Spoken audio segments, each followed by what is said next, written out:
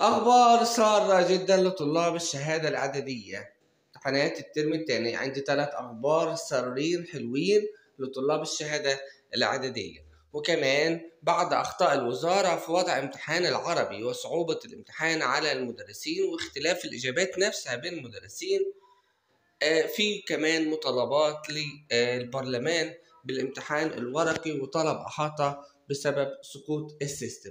أتمنى في البداية إن أنت تدوس لايك ولو كنتش مشترك تشترك معايا في القناة وتفعل الجرس على كلمة كل عشان تتابع كل الأخبار التعليمية والخدمية اللي أنا بقدمها والمراجعات سواء مراجعات اللغة الإنجليزية وكورسات اللغة الإنجليزية أو كمان مراجعات في كل المواد.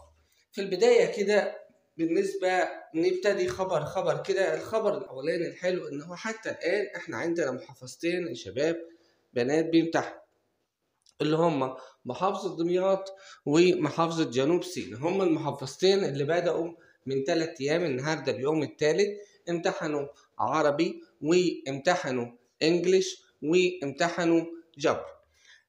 الحلو في الموضوع ده إن الثلاث امتحانات طبعا أنا عندي جروبس كتير على الفيسبوك وكمان على التليجرام. آه، الحلو خالص إن كل الطلاب بيقولوا الامتحانات سهلة وبسيطة وفي المتناول.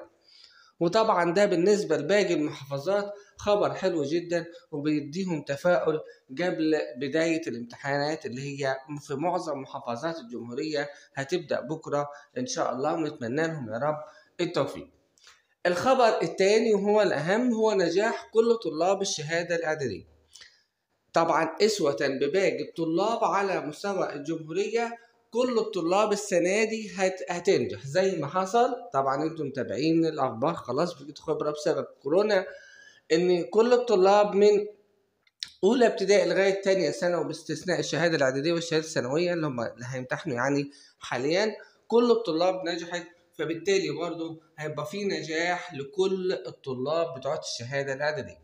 طب يا مستر إحنا مش بنفكر في النجاح. إحنا إحنا لينا هدف تاني أكبر من النجاح اللي هو دخول ثانوي واللي هو عايز يخش تمريض واللي عايز يخش في مدارس كتيرة وهنتكلم في المدارس ده في وقت قريب إن شاء الله وهنديكم فكرة عن كل المدارس اللي ممكن آه، تدخلها إن شاء الله.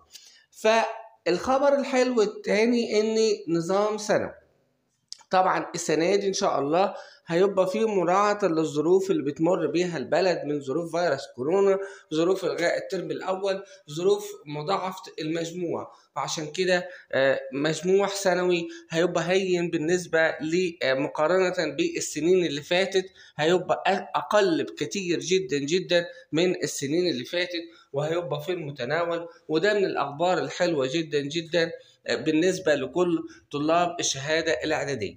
إحنا آه، في أخبار حلوة يا جماعة بنحاول نقول لكم ونصدر لكم الأخبار الحلوة عشان تتفائلوا شوية. أنا عارف إن أنتوا آه، بصراحة طلاب الشهادة الإعدادية السنة دي مروا ظروف صعبة جدا جدا من عدم بعد ما ذاكروا امتحانات الترم الأول اتلغت خدوا الترم قالوا لهم إن أنتوا هتمتحنوا وبعدين فوجئوا إن هم ما امتحنوش الترم الأول وجاء الترم الثاني عليه آه، الدرجة هتتضرب في اتنين فالموضوع هيبقى صعب بالنسبة لهم. لكن إن شاء الله هم كده وجدود. أنا أنا واثق فيهم وإن شاء الله هيأدوا أداء آه، متميز ومتفوق إن شاء الله. وده اللي أنا عندي ثقة فيه وبدعي لهم كلهم بالنجاح. ناس كتيرة متابعاني آه، في القناة وتبعت لي مستر ادعي لنا ان إحنا ننجح بندعي لكم كلكم وكل الناس أهاليكم وكل الناس بتتمنى لكم إن أنتوا تكونوا ناجحين ومتفوقين في حياتكم مش بس في الشهادة الاعداديه لا في كل مجالات حياتكم إن شاء الله. بالنسبة بقى لعندنا الموضوع الثاني وهو الموضوع الأغرب وزارة التربية والتعليم. فجينا النهارده الصبح ان وزير التربية والتعليم منزل بوست على الفيسبوك على الصفحه الشخصيه الخاصة بيه. بيعتذر عن خطأ وضعه في امتحان التجريب. آه يعني تخيلوا يعني الوزارة حطت سؤال غلط. وزارة التربية والتعليم الناس اللي بيحطوا الامتحان حطوا سؤال غلط. وهنجرى طبعا ده مش كلامي ده كلام الوزير.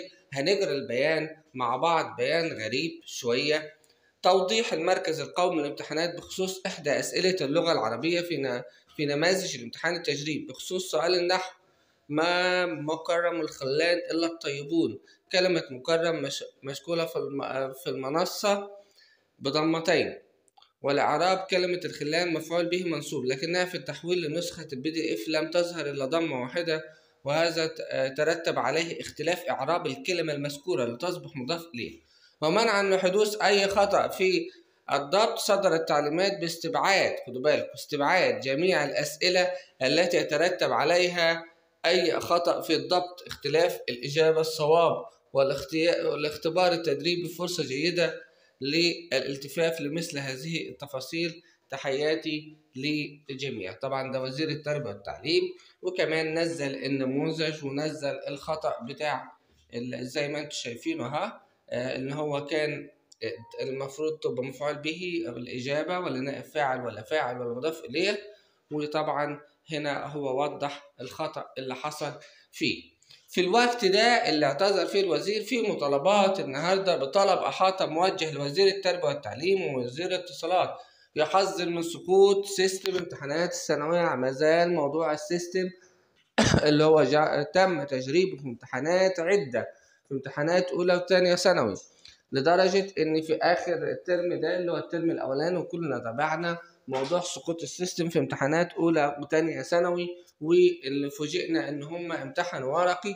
طبعا في خوف شديد من الأهالي في خوف شديد من الطلاب في خوف من كل حاجة. بصراحة الله يكون في عون ولا عارفين نظام الأسئلة ولا عارفين السيستم هيبقى نظامه إزاي. ولا عارفين امتحاناتهم هتبقى إزاي. مش عارفين أي حاجة والطلاب تايهين. وما زالت الوزارة بتأجل يعني تأجل مؤتمر. كان المؤتمر المفروض هو الحد أو الاثنين فوجئنا إنه تم تاجيله الوزير أعلن إن هم هيبقى الأربع أو الخميس هيعلن كل التفاصيل. في تفاصيل كتيرة في مناقشات كتيرة. عايزين يخلوا الامتحانات تبقى على التابلت لكن الإجابة في الورق عشان لو طالب اتظلم يقدر يقول دي ورقتي ما يحصلش مشاكل ولا زي اللي حصل إن في امتحانات أولى وثانيه ثانوي طلاب علمي جالهم تاريخ طلاب ادبي جالهم أحياء وفيزياء ففي لخبطة كتيرة. فالوزارة اللي بتفكر فيه حاليا دلوقتي الامتحان يبقى على التابلت وإن يبقى فيه بيتحل على البابل شيت. ده تفكير وزارة التربية والتعليم في الوقت الحالي. إحنا في انتظار طبعا المؤتمر اللي هيوضح كل الحاجات دي بس هل طلبات الأحاطة من وجهة نظركم هتخلي الوزير يغير وجهة نظره. نتمنى أسمع آرائكم وتعليقاتكم في الفيديو. بالتوفيق للجميع. إن شاء الله.